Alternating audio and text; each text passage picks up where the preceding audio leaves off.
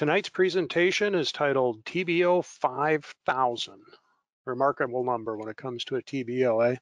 Our presenter is Mike Busch. Mike is president of Savvy Aviation Incorporated. He's a author for numerous aviation publications over many years as a certified flight instructor certificate and A&P mechanic certificate with inspection authorization privilege. And in 2008 was the Aviation Maintenance Technician of the Year in the FAA and also a member of EAA. Mike, thank you so much for being with us tonight and sharing this remarkable information. I'm kind of intrigued to hear all about this. I'm going to turn control of the presentation over to you. Okay, uh, Tim, and good evening, everybody. Um, yep, 5,000 is a nice round number. and uh, it's an interesting story behind it. Um, so uh, the story uh, is a long story, so I'm going to try to go through it as quickly as possible. It started uh, 11 years ago in uh, 2011, um, and it had to do with a uh, an airplane belonging to a flying club, which, uh, for the purposes of this webinar, I will call Unruly Flyers. That's not their real name, but um, and the board of directors of Unruly was facing a problem back in 2011. It's a 14 member Midwest Flying Club, um, and the 14 members share a single aircraft, a 1997 Cessna 172R, which had been upgraded with a uh, Lycoming IO 360 engine that was rapidly approaching its 2,000 hour TBO. Uh, so the board um, was trying to decide what to do. Um, they considered um, sending the uh, engine out for a field overhaul, which um, would put the uh, the club on the ground uh, for at least three months because they only do have this one airplane.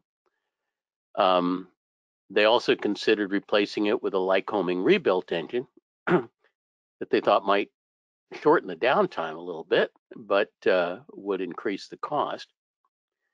And uh, so, in the course of trying to decide what to do, they um, reached out to a fellow by the name of Whit- Whittington, who's a member of the club and had um, previously been the club's maintenance officer for many years. Um, and they, because uh, they were facing a pretty serious maintenance decision, asked uh, Whit whether he would come out of retirement and uh, retake uh, the uh, position of uh, maintenance officer for the for the club and help steer them through this decision making.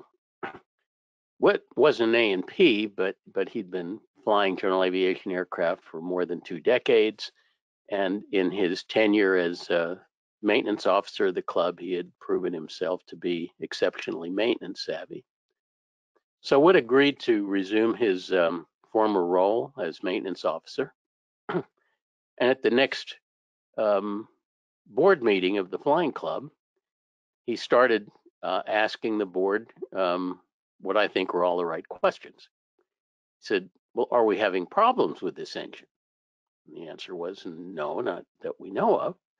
So why are we thinking about overhauling or replacing it? Well, because it's almost a TBO. Well, are we required to do something when it reaches TBO? Well, I, I guess not. We, we, we operate under Part 91, so we're not really required to do anything. So why not just continue it in service? And the question is, well, for how much longer can we do that? Well, how about continuing in service until there's some indication that we ought to take it out of service, that, that, that overhaul is needed?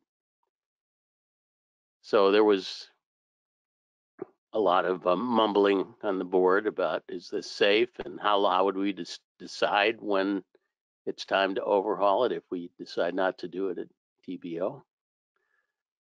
Um, uh, Wood explained to the board that some years uh, earlier he had attended a workshop that I'd conducted where I tried to make the case for doing maintenance on condition rather than on the fixed timetable that the manufacturers uh, recommend and I generally advise doing on condition maintenance for everything, not just engines. Um, and I've talked about that a lot in previous webinars. And during this workshop that Whit attended, I presented the results of a five-year study of general aviation engine failure accidents um, based on NTSB on uh, data from the NTSB database, which demonstrated pretty clearly that the greatest risk of an engine failure accident occurs when the engine is young, not when it's old. Um, I've I've used these slides in previous webinars, but and you may have seen them before. But um, this is a, these are a couple of histograms that that uh, that we created um, based on analysis of uh, five years of general aviation uh, accident data from the NTSB, where we looked at all of the accidents that the NTSB attributed to uh, engine failure being the probable cause or a contributing factor to the accident. These were bona fide engine failures, not things like running out of fuel. Um, and the left one uh, is um, uh, how many accidents occurred uh, based on how on hours on the engine since the engine was built, rebuilt, or overhauled. And the right histogram is based on calendar time, and how many years elapsed uh, since the engine was built, rebuilt, or overhauled. And without getting too far into the weeds, when you look at this, it's pretty clear that um, engines have a significant infant mortality risk when right after they have been built. Um, and um, so it was pretty clear from the data that if you're going to fall out of the sky because of an engine failure accident, the most likely time to do it, that you're going to do that, is uh, when the engine is young, uh, not when it's old. And so what says to the board, you know, we really should be worrying more about engine failure during the first 200 hours after the engine is overhauled or rebuilt uh, than worrying about engine failures the first 200 hours after it goes past TBO. Um, because he was recommending um, continuing the engine in service based on condition, he also recommended to the board that they um, that they enroll the the Skyhawk in my company's uh, SavvyMx managed maintenance program, um, so that we could help them uh, with their condition monitoring and help advise them um, uh, what work should be done on the engine and when when the appropriate time would be to uh, to take it out of service. And the board agreed to do that. Um, so uh, when they enrolled the aircraft, we we assigned um, one of our most experienced account managers named Eric Svelmo, an A&P IA probably 30 years experience, um, to to work with Whit um, on the maintenance of uh, of the Club Skyhawk. Um, I I selected Eric for this job uh, because not only is he very experienced A&P IA, but uh, he's got a lot of experience um, uh, doing uh, Lycoming engine overhauls. And spent quite a bit of time working in overhaul shops and so on. So he knows these engines inside and out, and he knows what their weak points are and their strong points and so on. And I thought he would be an ideal person to to help advise Whit and the uh, and the flying club on what to do with this engine.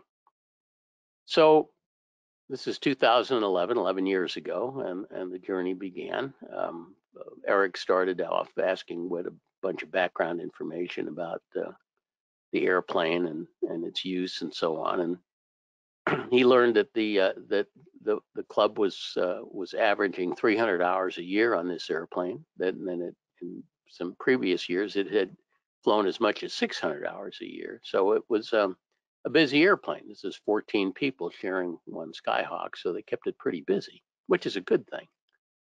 Um, they had originally acquired the airplane in 1998 uh, when it had 500 hours since new, and they had upgraded the engines uh, using an Air Plains STC to upgrade the um, the horsepower from 160 to 180 horsepower.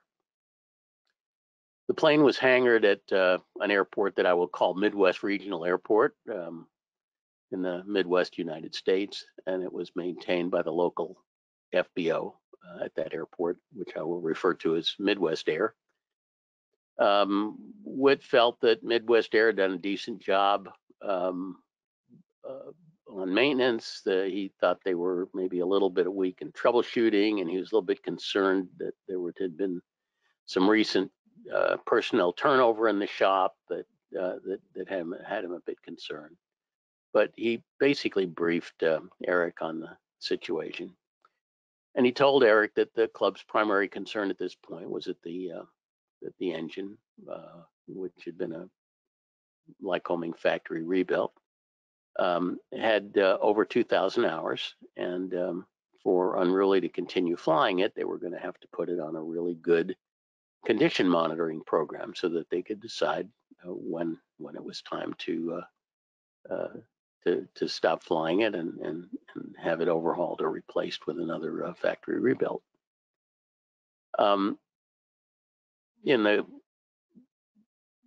course of the conversation, um, uh, Eric indicated that we put a lot of uh, faith on in, in, on borescope inspections, and that that's a very important tool that we use in order to determine engine condition. And uh, Whit told uh, Eric that Midwest Air wasn't much of a believer in borescopes. They, he said they have an old clunky one that they hardly ever use, so we really don't know what our exhaust valves look like or our cylinder barrels look like.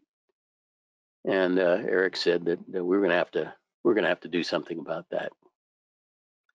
Um, he explained to Whit that the, these four-cylinder Lycoming engines are about as close to bulletproof as as uh, airplane uh, aircraft engines get, um, but they do have a few vulnerabilities uh, that need to be monitored closely when uh, when the engines are operated at, at real high time one area of concern was the the exhaust valves. Uh, Lycoming engines use sodium-filled exhaust valves. They have a hollow stem with, with liquid sodium inside, and they have a history of of um, becoming eroded and pitted, uh, and are vulnerable to breakage um, after a, a, few thousand hours of, of time on the valve. So uh, Eric said we we want to keep we want to inspect these valves closely and make sure that they aren't uh, they aren't deteriorating.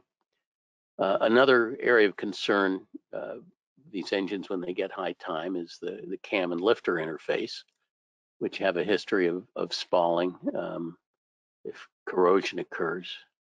And generally, uh, this is a problem that occurs in airplanes that that are used irregularly and that that sit around.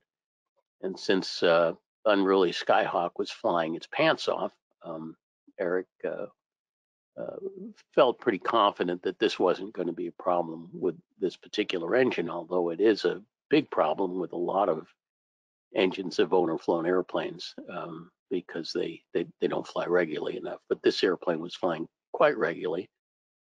Eric did suggest that the um, that the club switch from using Aeroshell 15W50, which is what they had been using in the engine, to using uh, Phillips X/C 20W50 and adding uh, CamGuard um, for improved uh, protection against corrosion and wear and to try to keep the inside of the engine a little bit cleaner.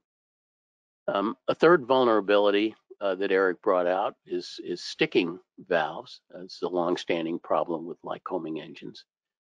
And Eric recommended um, that in order to prevent um, valve sticking from happening, uh, the the engine should undergo a, a valve wobble test every 400 hours or so, uh, in accordance with um, Lycoming Mandatory Service Bulletin 388C, which uh, which tells you how to do that. And it basically involves uh, taking the, the, the rockers and the valve springs off and and using a fixture with a dial indicator to measure how much wobble the, the valve has in the guide. And um, if it has too much wobble, then then the guide is excessively worn, and if it has too little wobble, then the um, the then the the guide is getting um, um, deposits build up in it that, that can ultimately lead to valve sticking. And so the the valves want to uh, want to have wiggle in the acceptable range, and if they if if uh, if they don't have enough wiggle to them, then uh, there's a procedure for dropping the valve into the cylinder, reaming out the guide to clean out the deposits, and then putting the valve back together. Um, so Eric recommended that the that, that the club be doing this uh, at least every 400 hours, which which would probably mean doing it at each annual inspection because they were flying quite a lot. Um, and he also urged that the club members be trained to recognize the symptoms of what we call morning sickness, which is when the engine runs rough when it's first started cold, first flight of the day, and then it smooths out when the once the engine warms up. That kind of um, initial roughness when the engine is cold is a, is a is a warning sign of of incipient um, uh, valve sticking.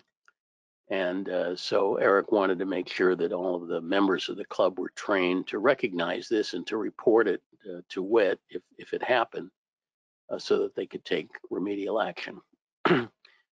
so anyway, um, the, the first event of significance that happened um, after uh, Eric started working with Whit on this project uh, occurred in uh, when the 2020, uh, the 2012 annual inspection came along, which was the first one that uh, that Whit and Eric were going to be involved in. Um, it started on the 30th of January. Engine time at this point had was up to about 2,500 hours. um, it it it started a little bit weird because Midwest Air was not used to the protocol that that that we impose on shops when we work with them that uh, that we wanted them to complete the inspection part of the inspection but not do any repairs or order any parts until they put together a detailed uh, discrepancy list with recommended repairs and and uh, cost estimates for each one. And then um, then then gave the owners, uh, in this case, Whit representing the club, the opportunity to to go through all of the uh, the discrepancies and the cost estimates and and individually approve or decline each one. but um, the, the, director of maintenance at Midwest Air was once he understood the procedure that we wanted him to follow, he was he was good with it and uh, he got on board with it fairly quickly. And Eric found that Midwest inspections were thorough and their estimates were fair and their shop rates were reasonable and they basically they were a shop that we could we, we could do business with. Um, Whit made a point of being present down at the shop when they did the compression test and bore scope inspection on the engine. Um, and he reported that the compression test went very smoothly with all the cylinders uh, in the 70s, which is kind of nice given that the engine was uh, at 2,500 hours. But he said the bore scope inspection was a big disappointment to him because, you know, as he had warned, uh, Midwest's bore scope, uh, which was a snap-on BK 5500, which they didn't use very often, um, was pretty much of a joke. It, it has poor lighting and very poor resolution, and, and they can't really see very much.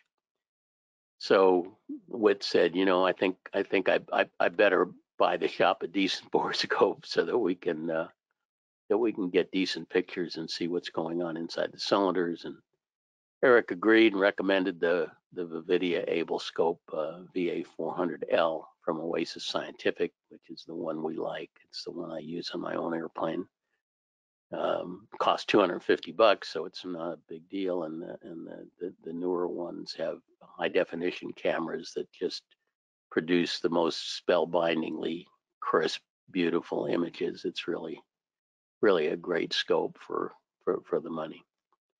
So, any rate, they they went ahead and ordered one of those so that they would have a decent bore scope going forward, because that's very important in terms of uh, of uh, engine condition monitoring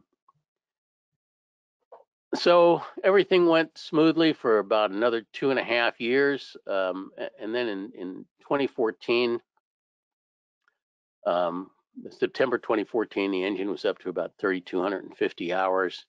The club organized a spot landing contest, and several of the members who participated in it reported that the engine was hiccuping and making loud popping sounds when throttled back for landing, They were doing spot landings.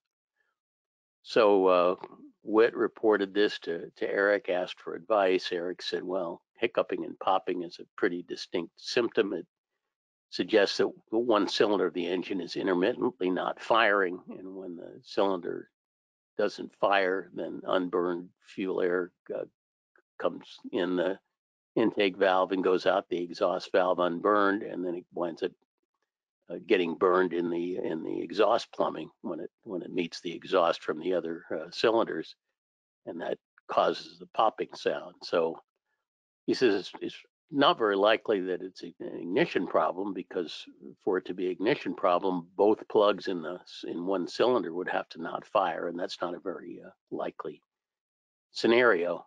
So he says more likely it's a it's an exhaust valve problem, maybe a sticking exhaust valve. So this would probably be a good time to do the wobble test. um, so the plane was coming up for uh, for a 50-hour oil change, and so asked the shop to do the the wobble test um, while it was in for an oil change.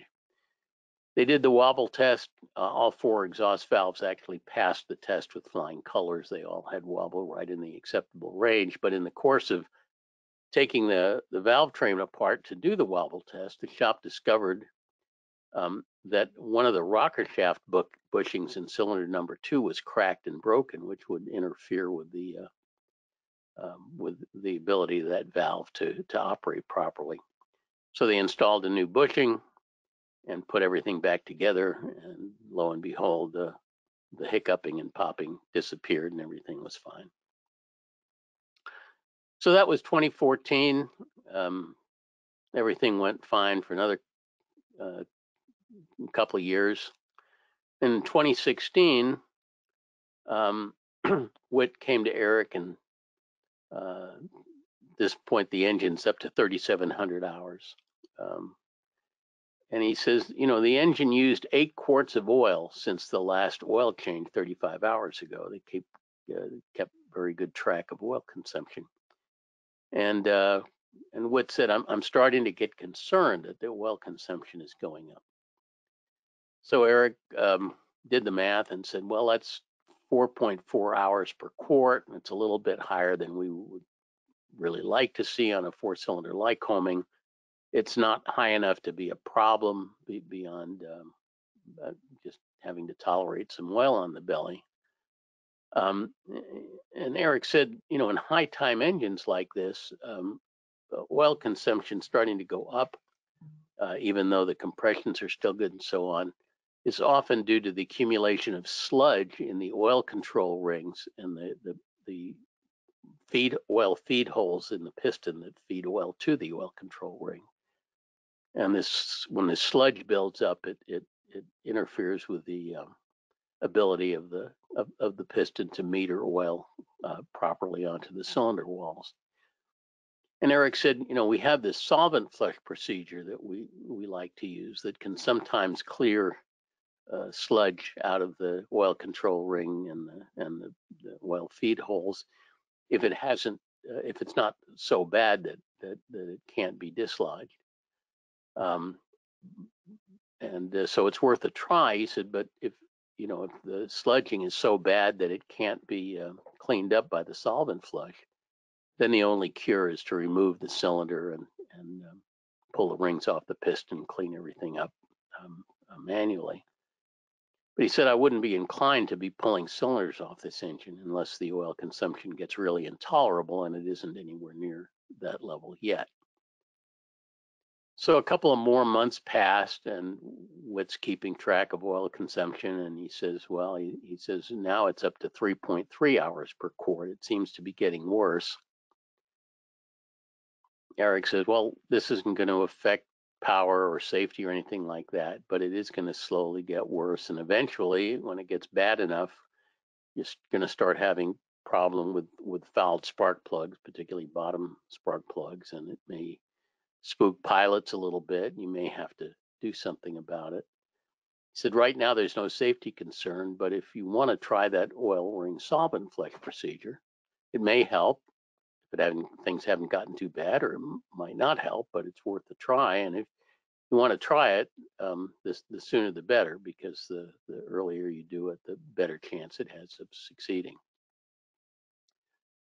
So Whit, thought this was a good idea. He said it would certainly make sense to take a $400 gamble on a solvent flush rather than spending $40,000 on an engine overhaul, um, especially given the downtime that the overhaul would cost.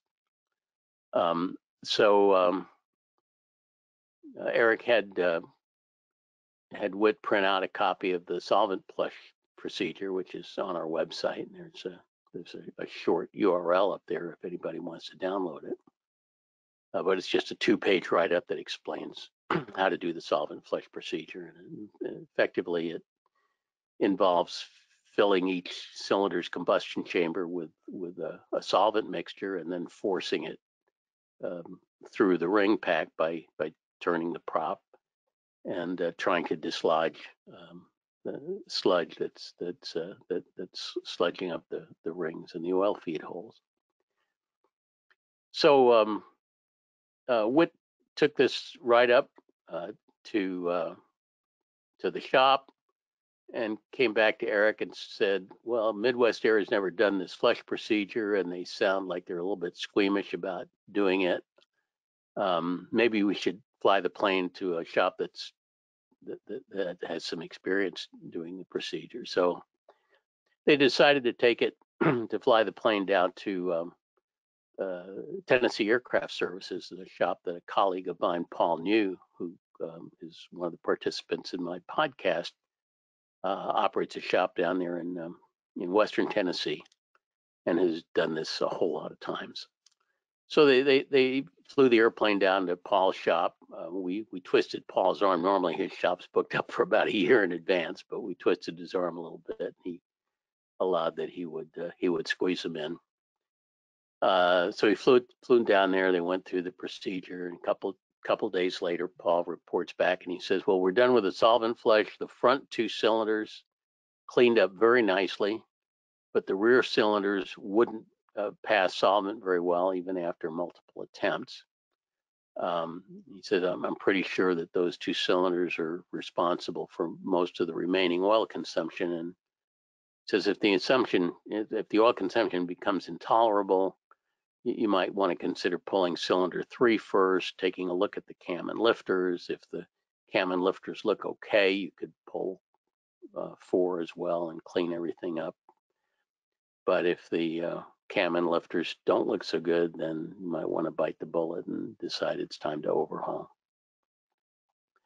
So Whit flew the plane home from Tennessee and reported that uh, on the four-hour flight, uh, the engine only used one quart, which was uh, an improvement over what it had been doing before. So the solvent flush did reduce the oil consumption uh, noticeably. Um, and Whit said, well, since we're no, we're close to Lycoming's maximum oil consumption threshold of a quart in two hours, it's not really clear that we need to do anything further at this time. And so they didn't. And they kept flying the airplane and they flew it and they flew it and they flew it. And um, they flew it for about another four and a half years until uh, 1,200 hours uh, and four and a half years later, it brings it up to 2021 last year. Um, and uh, in June 2021, with the engine at 4,800 hours, Whit said to Eric, you know, I think we're finally between the proverbial rock and the hard place where we are right now. The engine is burning a quart every three hours.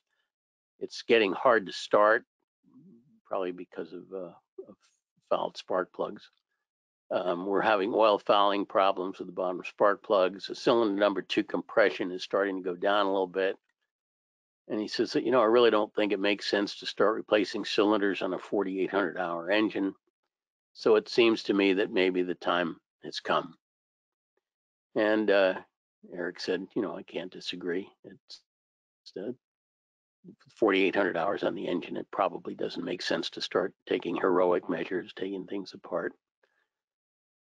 Um, Whit says, you know, our Lycoming factory engine has now served us well for 23 years and 4,800 hours. So the board has decided to replace it with another Lycoming rebuild. Eric says to Whit, I, I, I would suggest that you order it directly from Air Power Inc. in Texas rather than ordering it through the FBO. He says if you order it through the FBO, they'll they'll mark it up and they'll charge you sales tax and on a thirty-seven thousand dollar engine that that can wind up being quite a lot of money. This was a little surprising to Whit. He says, "Doesn't the shop get an FBO discount?" And Eric says, "No, they'll pay the same price that you would pay, but then they'll mark it up and they'll have to pay sales tax if you have the engine shipped to you from Texas. Um, you you won't pay any tax and."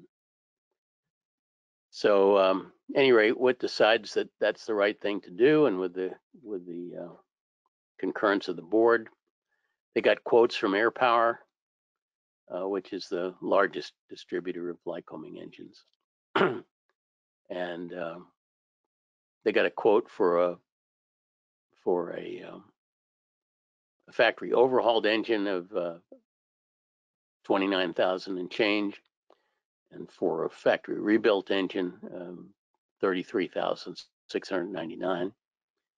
And um, they opted to go for the rebuilt, um, place an order with a deposit with uh, with Air Power. and now the waiting process for the engine began. Initially, Air Power quoted delivery in 12 weeks, uh, but not long after that, they amended the delivery to 14 weeks.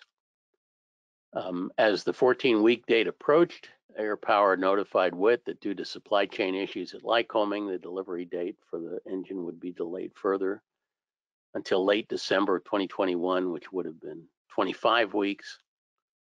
As December approaches, they uh, said Lycoming had run into additional delays. And by the way, this is not at all unusual. This is what we're seeing right now. The um, nobody is meeting delivery dates. Everybody's slipping dates. Um, when when you when you get a delivery date from Content, Continental or Lycoming, um, you, you know, double it. it's just it's just a horrible time to to to be uh, uh, trying to order an engine or or get an engine overhauled. It's, it's a very difficult time right now because of all these supply chain issues. So, at any rate, uh, ultimately the uh, the delivery date slipped into February of, uh, of this year, which uh, wound up being 27 weeks. Um, in the meantime, uh, the old engine, which they'd continued to fly, had reached 5,000 hours, but it was having such a hard time starting and had such bad spark plug fouling issues that ultimately the board of directors of Unruly reluctantly decided that they were going to ground the airplane until the new engine could be installed. Um, the new engine finally arrived in mid-February. Um, the plane was back in the air on March 10th with a with a fresh factory rebuilt engine, and uh, and they made this old engine made it to TBO 5000. So, of course, at this point, we are all dying of curiosity as to what this 5,000 hour engine um, is going to look like inside. And, you know, unfortunately, the, this engine has to go back to Lycoming as a core.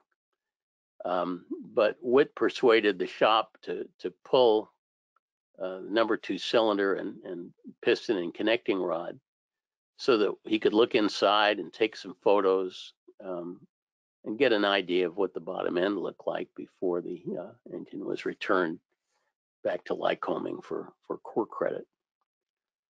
And um, it was quite interesting to see what this engine looked like at 5,000 hours. Uh, the number two piston, you know, predictably had a lot of sludge in, in the in the ring pack and and and so on. Uh, we knew that that was the case. And that's what uh, accounted for the for the oil consumption. Um, but the cylinder itself um, was really in remarkably good shape. It, it, still had plenty of crosshatch left, and it you know had excellent compression and so on. And so really, the only problem uh, was the fact that there was a, a lot of, of, lead sludge uh, messing up the, the, the, the, piston ring pack.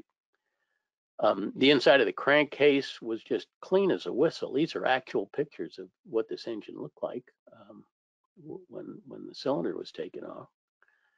Um, the number two um, rod journal, the, the crank pin that the, the big end of the connecting rod uh, connected to, um, was in excellent condition. Uh, the big end bearing on that connecting rod had had some some wear, as you can see, but it was still in pretty good shape. It wasn't, you know, it wasn't any kind of jeopardy. And the rod bearings uh, typically wear a lot more than the main bearings. They're under a lot more stress. And uh, uh, so if the rod bearings look okay, then you know you can be sure that the main bearings uh, would have looked excellent. But of course, the only way to look at the main bearings is to split the case. We weren't going to do that. Uh, the cam lobes had some minor wear, but um, but no pitting, uh, corrosion damage, um, no distress that was deep enough to to catch with a with a fingernail.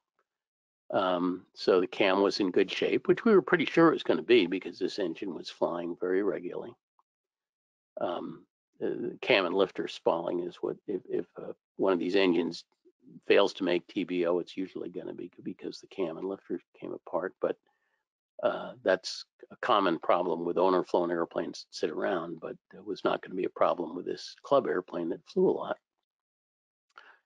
And to be honest, had it not been for the sludged up oil control rings, uh, this engine probably could have gotten another thousand hours with, with, without any problem. There didn't seem to be any real issues with it. And and actually, had this engine been run on unleaded fuel, um, uh, so that the sludge problem, you know, wouldn't have wouldn't have occurred, it, would probably still be flying. Um, so if you ever wondered why these four-cylinder Lycomings have a reputation for being bulletproof, um, this is a pretty good indication. So uh, that's the 11 year story of this engine and a couple of key takeaways. You know, not every Lycoming engine is going to make it to 5,000 hours, um, uh, although a surprising number of them make it to three or 4,000 hours if they're flown regularly and given a chance, particularly if they're like flight school airplanes or flying club airplanes that, that fly regularly. Uh, you know, if you think about it, Unruly Skyhawk had an awful lot going for it. It, it flew 300 hours a year. It lived in an area of moderate corrosion risk. It wasn't on the coast or anything like that. It was always hangared. It was always preheated in the wintertime, never cold started. It was uh, meticulously um, maintained. And probably most important, it, uh, it, it, was allowed to, uh, uh to, to reach a ripe old age without being arbitrarily euthanized. Um, now, not every engine is going to make it to 5,000 hours, but it seems to me every engine deserves a chance to continue in service until its time comes, the way this uh, IO 360 was allowed to do. Wouldn't it have been a crime to euthanize this engine at 2,000 hours when it hit TBO, uh, when, when it had another 3,000 hours of, of useful service in it? Of course, you know, when when Whit came to us and Eric got involved, there was no, we, we had no idea that this engine was going to make it to 5,000 hours. Um, and we weren't going to try to guess uh, how, you know, how, how far it was going to go. Uh, we just wanted to make sure that we were keeping track of, of things and doing uh, responsible condition monitoring, um, bore scoping, uh, you know, doing wobble tests, uh, checking the filter and all that kind of stuff uh, because the engine will will always start talking to you as the time approaches. You just have to be sure you're listening. Um, by extending the engine's life from 2,000 to 5,000 hours, the Flying Club saved itself at least $60,000 from what they would have spent if they had been replacing the engine each time it reached TBO. Uh, and it, and they also saved themselves a huge amount of downtime um, that, that would have been incurred um, replacing the engine when it really didn't need to be replaced.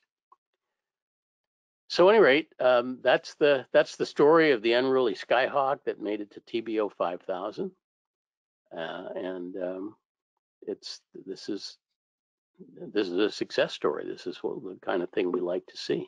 Um, I think the club did everything right, and they definitely got their money's worth out of this engine. And with that, uh, uh, Tim, I'd be happy to uh, uh, to entertain any questions that, that might have come up. Okay, Mike, thank you very much. We do have several questions that have come in already. Let's start with Josh's. He's wondering, does the club take on any additional liability by overflying the TBO time? Well, you know, that's that's not a mechanic question. That's a lawyer question. Um, the the um, certainly the, the the club was not in jeopardy as far as its insurance was concerned or anything like that. Everybody knows that that um, that that Part 91 operators are are not obligated to um, to follow uh, manufacturers' uh, uh, TBO recommendations. Um, you know, if if if the airplane crashed and and it got you got in got a lawsuit involved, you you never can really predict what's going to happen there. Um, but uh, that that was just a decision that the uh, that, that the, the club members and the, and the board um, had to make. Um, there, there, you know, I, I've I've dealt with a number of flying clubs. Some of them are very, very conservative with this in, in this regard, and they they they observe manufacturers' TBOs whether they need to or not um, because of concern about liability. I mean, I personally think that there's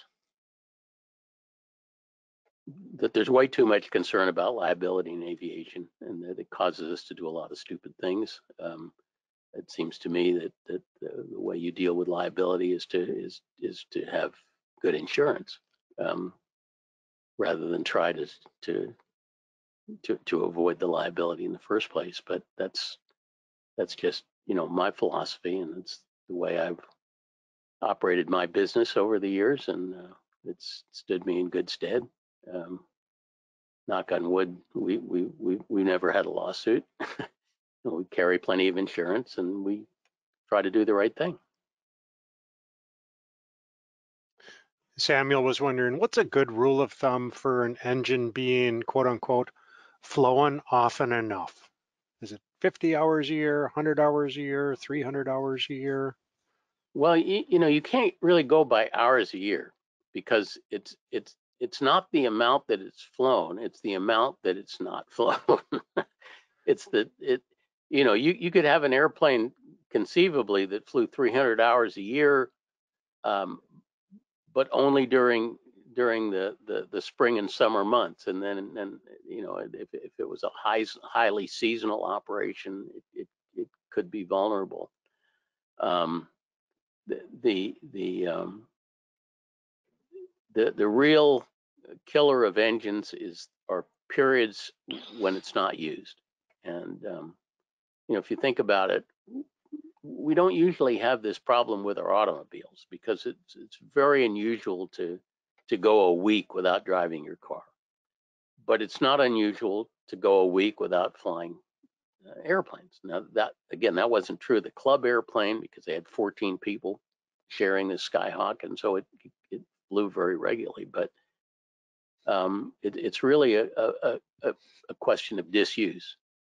And for owner flown airplanes, of course, disuse is just a fact of life, and but we and we have to take remedial steps to try to minimize the risk to the uh, to the engine, to, to the aircraft in general, but to the engine in particular, when the airplane's not flying. So um, things like hangering, uh, things like uh, using a, um, uh, an engine dehumidifier, um, things like using additives like CamGuard, which are, is pretty effective at, at uh, um, uh, reducing um, corrosion risk.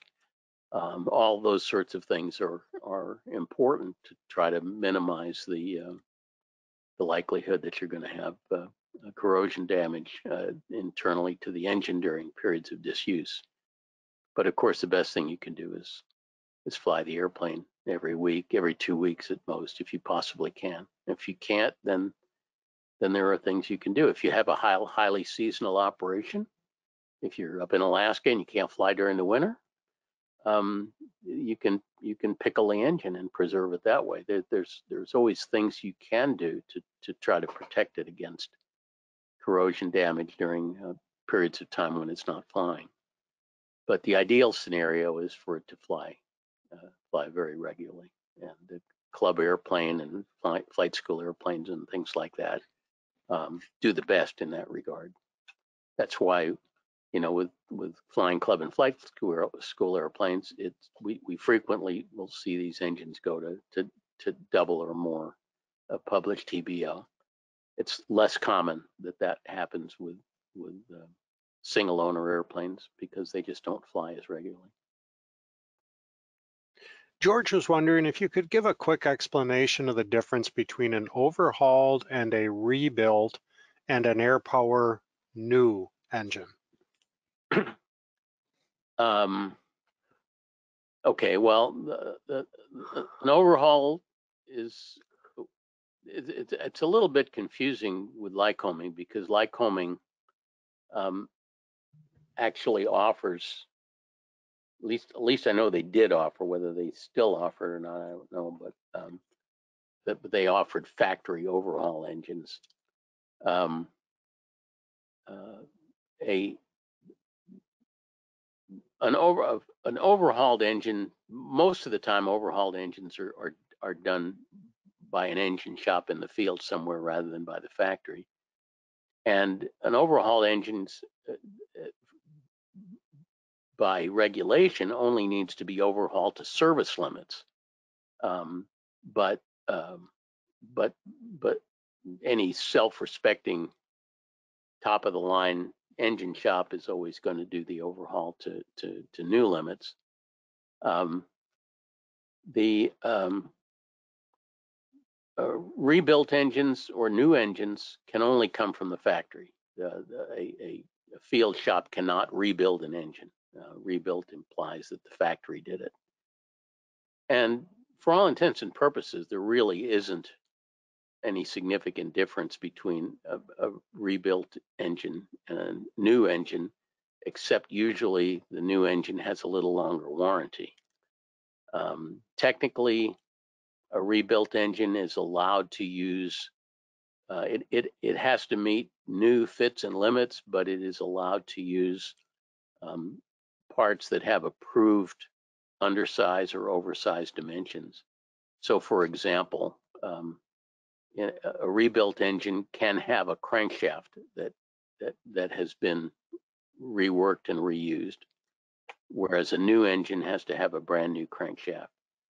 Um, you know, th there's actually some argument to be made for a, for a a, a reused crankshaft being uh, less vulnerable to infant mortality failures than than a new one because it's a known quantity.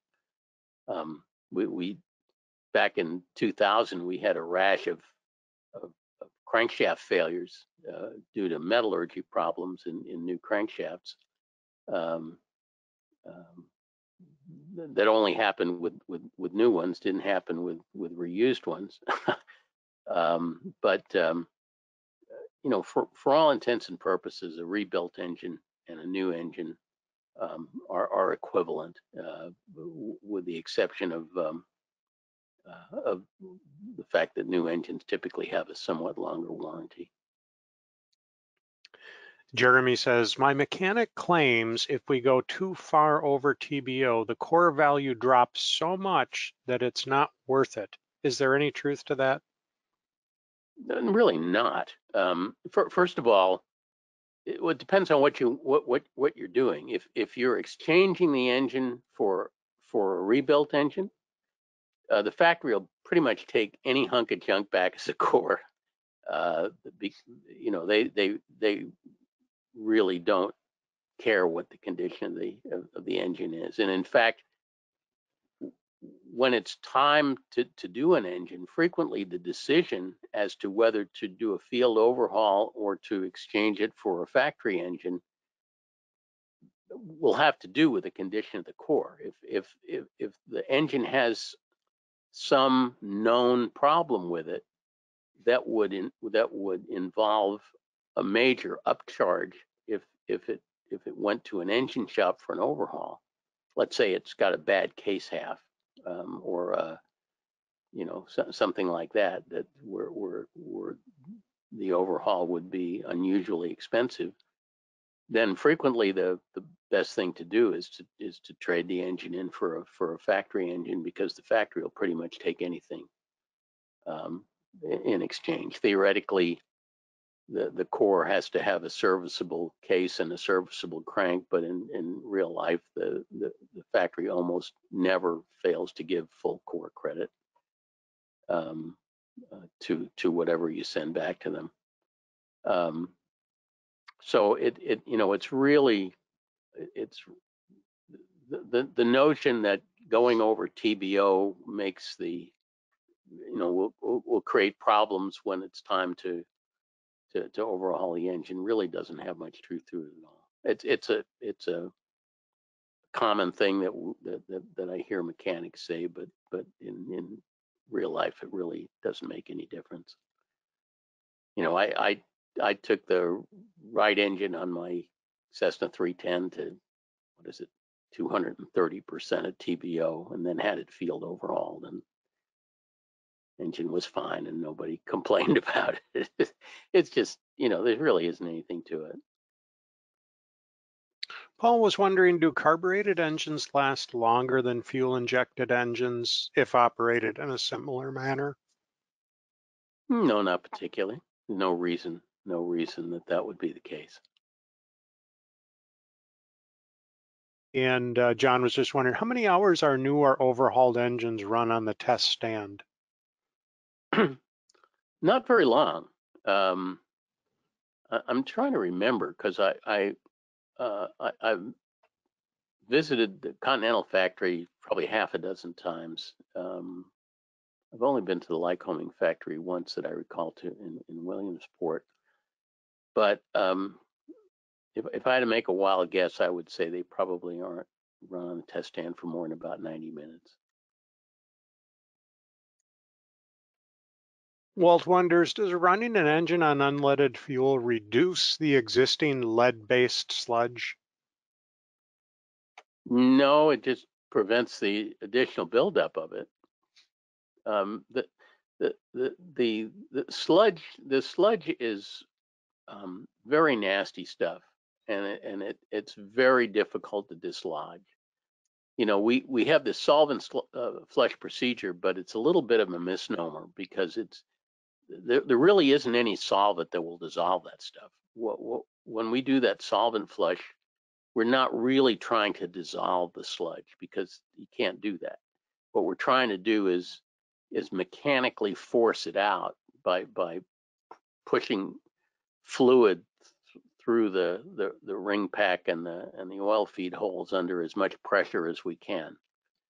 Um, so you, you fill up the combustion chamber with with fluid and you put the spark plugs back in and then you pull the prop uh, and and it's typically starts off very very stiff, very hard to pull through, and you keep repeating the procedure and and if if if you're successful, then each time you pull the prop through, it gets easier to pull and you can hear the fluid squirting out through the, the oil feed holes.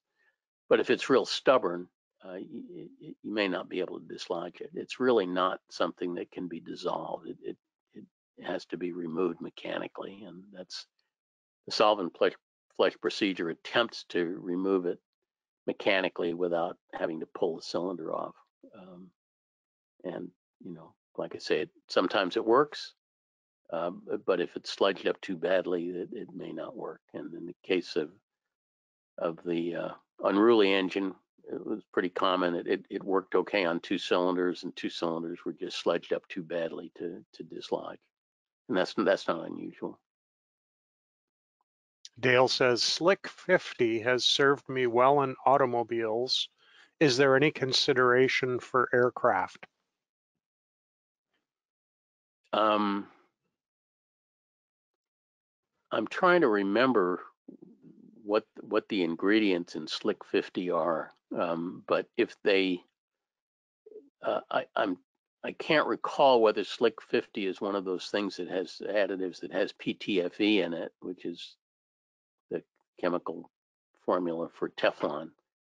But uh, if it does, that uh, Teflon containing or PTFE containing additives are definitely not recommended in aircraft engines because they have the potential for um, uh, for for messing up uh, hydraulic lifters. Uh, I, I, would have to go pull an MDS MSDS sheet on P, on uh, Slick 50 to figure out what's in it. I haven't looked at it in a long time. Danny says, are there any limits on the number of times an overhaul should be done on the same engine? Um, well, I'll, I'll say a qualified no. Um, when when a when an engine is overhauled, the crankcase halves um, are uh, are are the the, uh, the mating surfaces are are ground flat so that they that that that, that they have a, a good oil tight fit together, and then the case half is is a line bored to to bring the uh, the, the you know the bearing um, saddles back into proper dimension. And there's there's only a certain amount of metal that you can take off the case and have it still qualify. Normally, you know, a, a case can go through that procedure, you know, half a dozen times at least be, before it, it runs into any trouble. And it, really depends on how much metal they have to take off to to to make the mating surfaces uh, flat again. Um, crankshafts themselves, uh, Lycoming had a white paper out uh, a, a, while back that um, has, has disappeared off their website, unfortunately. But it, it talked about what the service life of a crankshaft is. And it indicated that the average life of a Lycoming crankshaft was about 14,000 hours, which is uh, probably longer than most of us will will wind up flying in our lifetime. Um, and it, it sort of indicated that the crank can go 7,000 hours or so before it flunks dimensional checks. And when it flunks dimensional checks, it can it gets reground to an approved undersized dimension and installed with with um, undersized bearings, and then can go another an, an, another 7,000 hours. And then if it flunks dimensional checks a second time, uh, then then it's uh, put out to pasture and it's no longer usable. But that's an awfully long lifetime, so that's that's lots of TBOs um, before a crankshaft. Uh, obviously, you know, if, if, the crankshaft has a prop strike or something like that, it might not last 14,000 hours. But assuming nothing untoward happens to it, um, that they have a very long life. Shabazz asks, if you had to make a plan for monitoring engine condition past TBO, how would you go about it? Um, bore scope, oil analysis, would you add any other items in the monitoring plan? Well, certainly oil filter inspection and in the case of Lycoming, suction screen inspections are very important. Mm, they're, they're a lot more important, I think, than oil analysis is. Um, because oil analysis only tells you about microscopic wear metals that are floating around, but anything of, of any significant size is going to get caught in the oil filter and is not going to make it into the sample jar. So if something is coming apart seriously in the engine, like let, let's say the cam and lifters are coming apart, which is a very common reason that engines wind up having to be taken out of service, that almost never shows up in oil analysis because the metal that's coming off the cam and lifters are of sufficient size that they're always going to get caught in the oil filter and they'll never wind up in, in the oil sample. Um, so uh, oil analysis is good for very, very slow wear events, things like uh, if you have accelerated wear of uh, exhaust valve guides or something like that that are made of very, very hard material and that wear very slowly, that's the sort of thing that will show up in oil analysis. Uh, another thing oil analysis is great for is is uh, looking for silicon in the oil that, that, indicates that dirt's getting into the engine. There's some problem with the with, with the um, induction air filter or the or the uh, alternate air door or carburetor heat door or something that's allowing uh, dirt to get into the engine. So oil analysis is very useful, but but it's it's in a supporting role. The most important way that we monitor low bottom end condition is by inspecting the oil filter and the suction screen. And the best way we have of monitoring top end condition is with a borescope. So if you do uh, all of those things, um, you're going to have a really good idea what's going on. Lawrence is wondering, have you heard of an O-540 making it long past TBO? I've heard they're a little different due to the large counterweights on the crankshaft. um, I, have certainly heard of of 540s going well past TBO. I, I, don't think I've ever heard of one making four or five thousand hours. The the ones that tend to make four or five thousand hours are are the the little four cylinder ones. Um, but um, but they're but they're very solid engines. The bottom ends of these engines are um, are, are very very robust as, as long as they don't have some kind of a lubrication failure. Um, uh, the bottom ends uh, can last a very very very long time. The um, uh, the, the biggest problem we have with these these engines have to do with all of the stuff having to do with the valves, frankly um, um, burn valves, particularly in Continentals, sticking valves, particularly in Lycomings, and cam and lifter issues. In, in Continentals, uh, lifters can be replaced easily. Uh, camshafts obviously require teardown. In Lycomings, uh, both lifters and camshafts require a teardown because Lycoming use uh, Lycomings use uh, mushroom style lifters that can't be removed from the outside of the engine.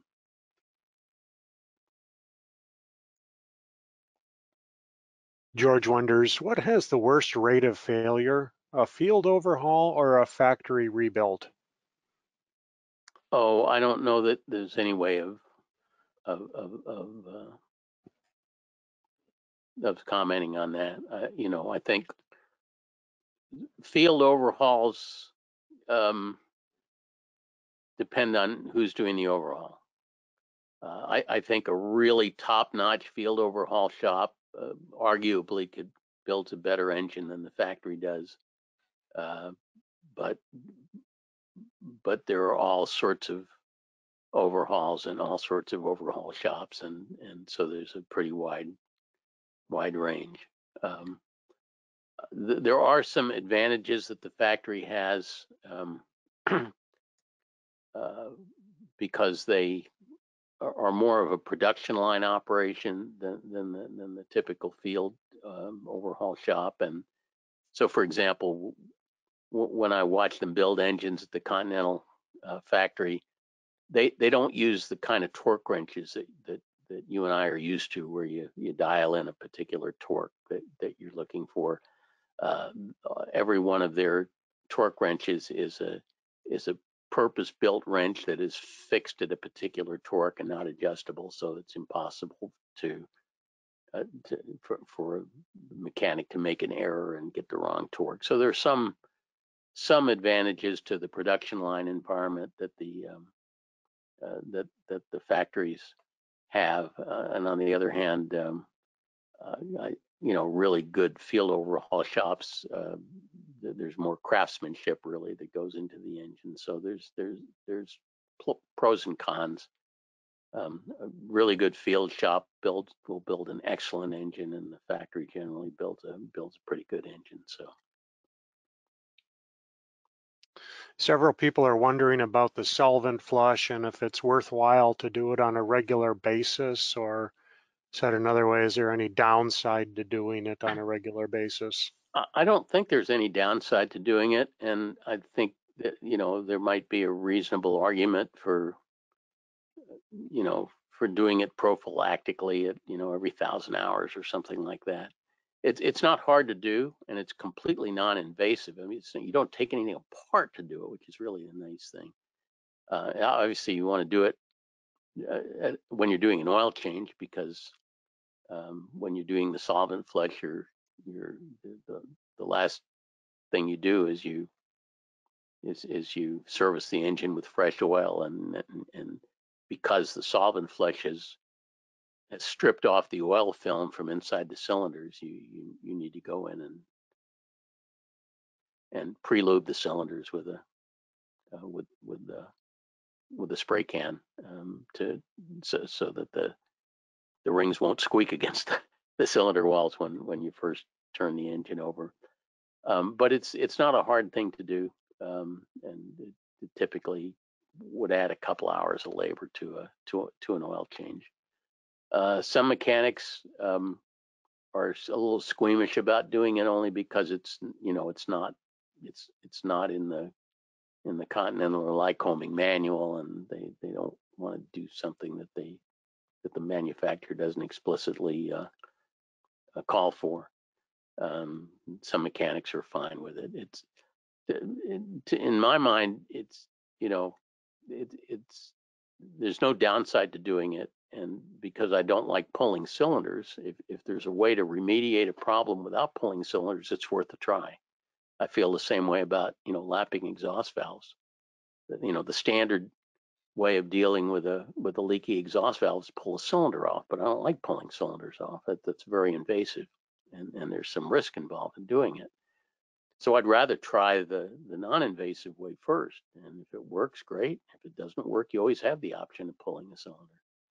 That was the you know kind of the decision that that the unruly guys went through. They they tried the non-invasive thing. It, it it helped some. It didn't totally cure the problem, but it bought them several more years of, of, of, of flying. And then finally, when they got to the point where the only way they could continue was to start pulling cylinders off the engine, and he said, "Hey, the engine's at 4,800 hours. It doesn't really make sense to start pulling cylinders off a 4,800 hour engine." They decided, I think prudently, that that you know the engine was telling them that it was time. George is wondering, can an aircraft owner pilot do a solvent flush as preventive maintenance? You know, to be honest with you, I don't see why not. it, it, like I say, it's totally non-invasive, uh, and and uh, especially, um, you know, given the FAA's legal decisions that, that that make it clear that it's, you know, that that it's not only the items in in Part 43. Uh, uh, appendix A sub C that we're allowed to do is preventive maintenance. I don't see any reason why an aircraft owner couldn't do a solvent flush. He's allowed to pull spark plugs. He's allowed to change oil. There's nothing about the solvent flush that's that's any more involved than that. Chris I, was I would, I would, by the way, and, and we have this in the instructions, but um, uh, I, I, if you, if the airplane has a, an oil quick drain, I, I would remove it before doing the solvent flush just because the the solvent might you know might attack the the o-rings in the quick drain and and cause it to leak if the quick drain is exposed to solvent so I, I would typically take the quick drain off of the engine before doing a solvent flush but Paul was wondering, is there any differences to the break-in of a fuel injected engine over a carbureted engine? nope no difference whatsoever. And Chris was wondering, um, are fouled oil control rings a symptom of a more significant problem, maybe clogged oil distribution or oil pump issues? No, not at all. It, it's it's it's just characteristic of the fact that that um, that we're, we're, using leaded fuel, and um, the the um, compression rings uh, don't seal perfectly, and so a certain amount of of um, residual stuff gets by the compression rings and and and, and gets into the oil control rings and um, lead uh, when it mixes with oil uh, creates this kind of nasty sludge. Uh, it's the kind of thing that that that affects higher time engines because because the the, the higher time engines uh, tend to blow a little bit more stuff by the compression rings. It also tends to affect um, engines that have a, a, small oil sump capacity for the, their displacement.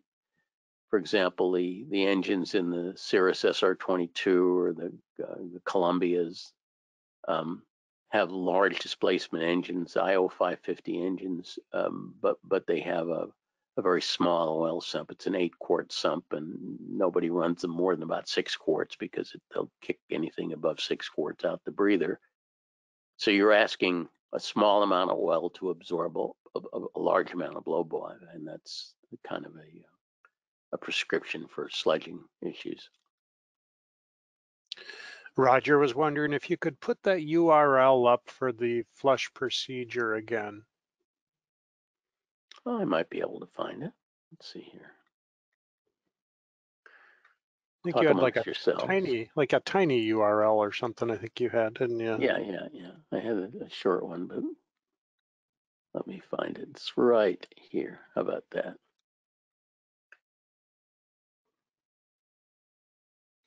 Nice. Wow. Yeah, it just it just popped up with that page. No flipping through the slides or anything. Good job. So yeah, it's a, it's just a two-page write-up, um, and it's a pretty straightforward procedure. William says, I was told to use avgas to flush the engine and clean sludge. Have you seen this and does it work? Don't smoke. um, y like I said, you know, to be honest with you, um, it's not that critical what fluid you use for this procedure because we're really not trying to dissolve the stuff. We're trying to mechanically force it out. Um, so, you know, any any uh, any fluid that that is compatible with with uh, with engine uh, components is is okay. I I wouldn't use anything like super aggressive. The this the the the witch's brew that is recommended in in our write up is is largely Varsol, which is basically paint thinner um, mixed with uh, with some engine oil.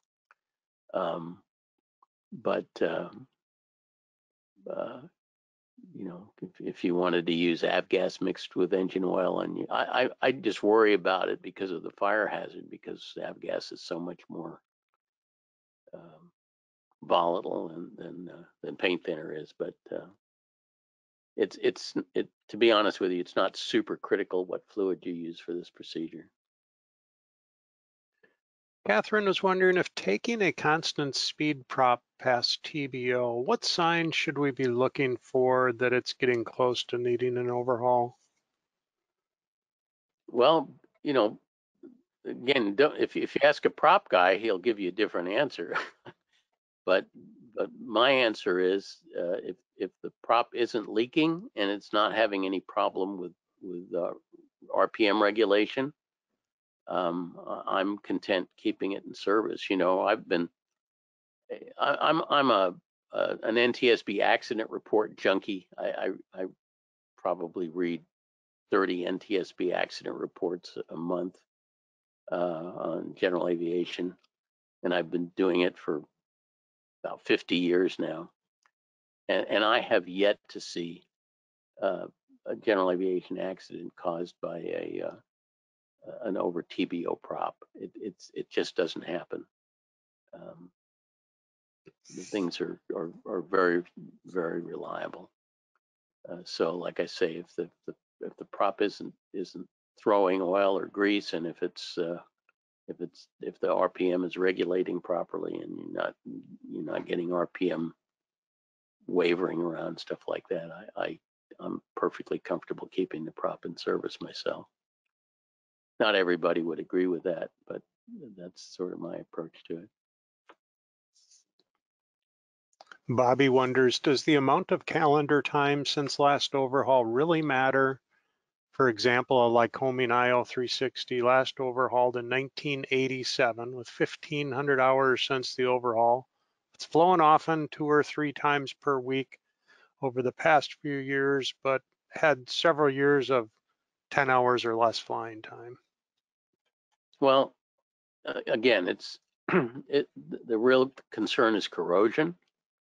Um, but you know, if if you had a long period of disuse, and then the airplane went back into service, and you made it through hundred hours of of actively flying the airplane, and and and it's still not making metal, then then then I think it's a reasonable thing to assume that you dodged the bullet and you didn't develop any major corrosion problems. If the you know if the if the cam and lifters are going to come apart because of corrosion pitting, they're usually going to come apart reasonably quickly. And so, in, in my view, if if if if if you've taken the thing out of its inactive state and you've flown it for 100 hours and it's still not making metal, you're probably fine. Thomas was wondering, are there periodic tests like the wobble test for big bore continentals? Um, Continental doesn't really have an equivalent to the wobble test. Um, um, sticking valves is are very, very rare in Continentals. They're, they're much more of a Lycoming problem. Continentals tend to burn valves a lot more, and Lycomings tend to stick valves a lot more. So um, there, there really isn't isn't an equivalent uh, to the wobble test for continentals, and there's really not that much need for it. Um, also, I, I um, as I described in, in an earlier webinar, um, that having a, a good a good fit between the the valves, the exhaust valve stem and the exhaust valve guide is more important, much more important in Lycomings than it is in Continentals because Lycoming valves, because they're sodium filled valves, um, depend on shedding a lot of the heat from the from the valve through the uh, through the stem to guide interface, whereas continentals uh, almost all of the the heat is is is shed between the face of the valve and the seat, and very little through the through the stem. So continentals can get away with pretty sloppy guides. Lycomings have a lot more trouble if the if the guides get get real sloppy. Jorgen wonders about using um, Phillips 20W50 with CamGuard, or should I use Aeroshell W180 Plus? Uh, is it as good or better? Well, I mean, it sort of depends. Uh, the the we recommended the um, the, the, Phillips 20W50 uh, to to uh, Unruly because of where they lived and the fact that they have cold winters and needed a multi-grade oil.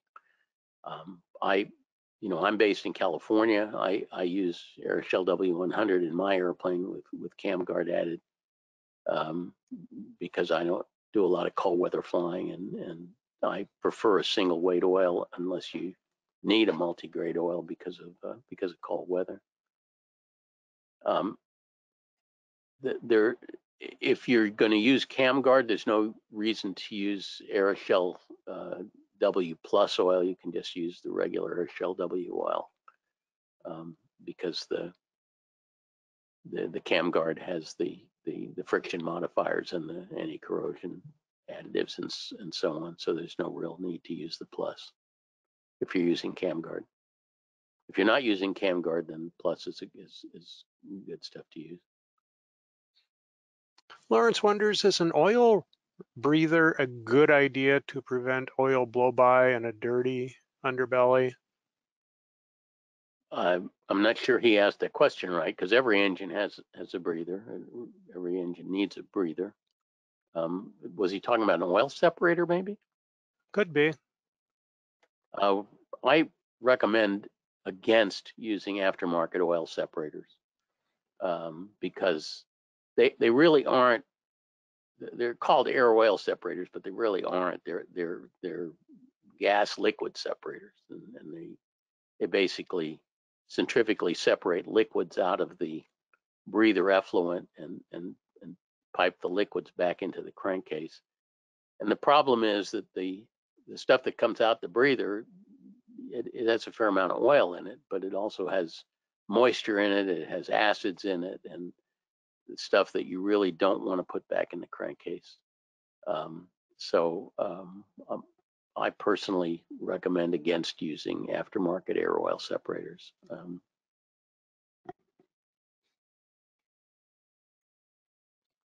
And Wayne is wondering, in your experience, what's been a major cause of engine failure and infant mortality after an overhaul?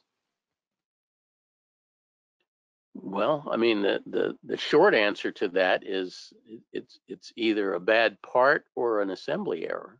Um, and uh, I mean, I've seen engines come apart because because a, a, a rod bolt wasn't wasn't properly torqued. The, the rod bolts, which are the things that hold the, the connecting rod caps onto the body of the connecting rod, are the highest stress fasteners in, in the engines and they're working them correctly and so on is extremely critical. Um, but I've also seen catastrophic engine failures caused by um, by, uh, defective parts. Um, like I said, in the 2000 era, we had a whole bunch of crankshafts fail because of a metallurgical problem that wasn't detected at the factory, and that happened to both Continental engines and Lycoming engines. Um, I, you know, I, I had a, a, I'll say, I'll say a partial engine failure, uh, something that, that prompted an engine shutdown uh, in my 310 caused by a, a, a piston coming apart. And uh, we sent the failed piston back to the manufacturer and they inspected it under a microscope and determined that there was a an inclusion in the casting, a little air bubble that caused the, the, the piece of the piston to break off. So stuff like that can happen. Well, Mike, looks like we're getting to the end here, so um, let's wrap it up. Looks like we had uh, just under 600 people tune in tonight and uh, a lot of great questions. I'm sorry we didn't get to all of them um, tonight. Uh, Mike, take a moment and share closing thoughts with everybody. Sure, you bet. Um, well, if if if you'd like to get on my mailing list for for uh, the newsletter that we send out um, once a month and uh, maintenance stories that we send out every week or two, uh, easy way to do that is to uh, is to text the word savvy S A V V Y to the the, the, the short code 33777 on your phone. And a little a mail bot will ask you for your email address and it'll add us to the list. Or you can sign up at, at the, uh, the website savvyaviation.com or, or uh, if you take uh, the post webinar survey that Tim's going to put up, there's a little checkbox if you want to get on the mailing list. Um, books are available at Amazon, Aircraft Spruce, EAA bookstore, um, and our podcast that I do with uh, with Paul and Colleen every month. Uh, Ask the A&P podcast uh, is available Spotify or Apple Podcasts or wherever you get your podcasts. We're going to be doing, um, at least we're going to be trying to do a live version of the podcast at uh, at AirVenture this year. This is going to be a great adventure because we've never done it before. I hope we don't embarrass ourselves too badly, but but uh, Paul, Colleen, and I are are, are going to be doing the podcast on Tuesday morning at uh, at AirVenture. So if you're going to be there, we'd love to have you come armed with questions. Um, podcast is a call-in show, and so if you have a question you'd like to participate in in our podcast, um, you send your questions to our producer Ian Twombly at podcasts at aopa.org. Um, he'll, uh, if it's a worthy question, he'll invite you to our recording session. We usually record these things about the middle of each month, and then they go through all of the editing and sweetening and stuff like that, and they uh, they go live the first of the first of the next month. Um, and finally, the the next three uh, webinars um, on uh, Wednesday, August 3rd, if I've sufficiently recovered from AirVenture by then, uh, is uh, the webinar is called Annual Disaster, and it'll talk about a an annual inspection that went horribly wrong, and uh, try to talk about what lessons can be learned to prevent your annual from going that way. Uh, in September, I'm doing a webinar called What Price Speed, where we're going to be talking about um, uh, about how to optimize your flying to to get the the the the best bang for the buck out of your very expensive avgas and so on. And finally, the October webinar, which is titled On a Short Leash, is uh, we're talking about how you can work with your shop to try to keep um, your your maintenance bills um, from from getting out of control. and uh, so that's about all I have, Tim. Well, great, Mike. Look forward and to uh, seeing everybody at uh, at AirVenture. Yeah, we got 18 days till uh, till we start, and uh, I was just wondering. I I imagine that you're going to be doing your normal uh, dozen or so live forum presentations Yeah, throughout the I've, week. I've, I've got a dozen presentations, and and this year I'm actually going to be doing four of them uh, with Paul and Colleen. and We're going to be it's going to be a little bit different. And uh, the, these four are we're going to be doing uh, kind of some some improvisational role playing where where Paul will play the A and P mechanic, Colleen will play the aircraft owner, and I'll I'll play the the narrator, and, and we'll we'll we'll talk about bad things that happen to aircraft owners and and and, and what we can do to to to help prevent those things from happening and so on. It's it, it hopefully it will be fun if it if it if it goes right. So Yeah, that sounds like it'll be a fun time. So everybody I can hope so. find those uh, presentations at EAA.org and uh, go to AirVenture and then the schedule. yeah, Um, if you put Mike Busch in there, you'll get 12 or 13 things will pop up.